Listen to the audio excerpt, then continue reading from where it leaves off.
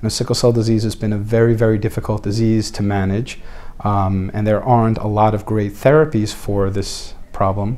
One of the mainstays of therapy has been a drug called hydroxyurea, and it's basically used to increase the levels of fetal hemoglobin to help prevent sickling. Well, hydroxyurea has its own problems. It can lower the blood counts, it can cause other issues. There's a drug called pomalidomide, which is actually a mainstay of therapy for multiple myeloma. Actually been FDA approved for myeloma treatment within the past year. And it turns out that this drug, which is used for an entirely different disease, actually increases the levels of hemoglobin F. And there was actually a phase one study looking at this in patients with sickle cell. Uh, and it's able to increase the levels of hemoglobin F without some of the toxicities they had with hydroxyurea. So, although further study is needed, we may be on to a new way of treating patients with that awful disease.